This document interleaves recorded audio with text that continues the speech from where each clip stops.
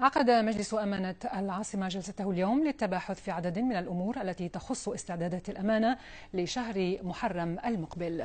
إلى جانب ذلك تم التنسيق مع وزارة البلديات من أجل تحقيق النظافة العامة في جميع الأزقة والطرق بما فيها تنظيم حركة السير فيها. التفاصيل في التقرير التالي.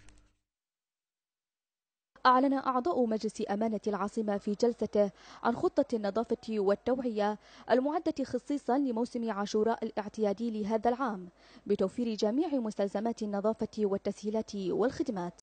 تحضيرات الأمانة إلى موسم عاشوراء وهذا نعتبره من الأشياء المهمة الأخذ الاعتبار لها لأن موسم عاشوراء في كثير من الفعاليات اللي وتكون في موجة النظافة مطلوبة. فلذلك يعني كان طلب من الجهاز التنفيذي التصور اللي ممكن يقدم حق موسم عاشوراء. إلى ذلك دشنت أمانة العاصمة مركز الخدمات التوعوية والثقافية والذي يهدف إلى نشر القيم البيئية لمختلف الفئات العمرية.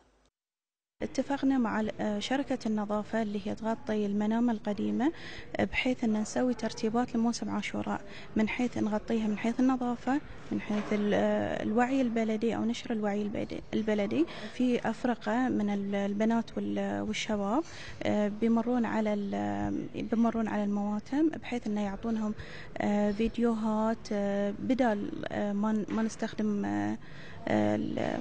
البروشورات عشان ما نزيد الويست أو ما نزيد المخلفات الورقية بتكون كلها نصائح وكلها فيديوهات إلكترونية تعرض في الشاشات. تم توفير العديد من الآليات والأجهزة في منها آليات جمع المخلفات بسعة استيعابية 25 متر مكعب بيكون عددها ثنتين موجودين في آه، مركز الخدمات بالإضافة إلى ثنتين من الحجم الصغير آه، بسعة استيعابية 7 متر مكعب بتكون موجودة 24 ساعة بعد في نفس المكان وفي بعد توفير اللي هو سيارات الكنس الآلي الصغيرة حق دخول الأزقة وهالأشياء من جانب آخر أعلنت الأمانة تعاونها مع حملة تدبير لترشيد الإنفاق حيث سيتم توزيع خمسة آلاف علبة لحفظ الطعام الزائد عن الحاجة لتوزيعه على الفئات الأكثر احتياجاً.